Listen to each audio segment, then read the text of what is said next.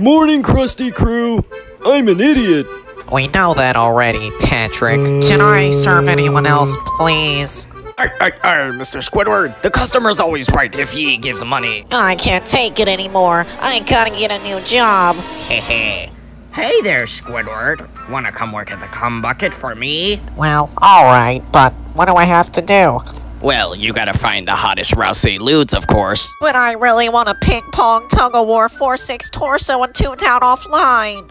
With our 24 7 masturbation stations, you can ping and pong all night. All night? Well, alright, I'll take the job. Oh yeah, oh yeah, Mr. Krabs. Ah, Ah, you're gonna give me my paycheck now, right? Arr, arr, never, Mr. Squidward.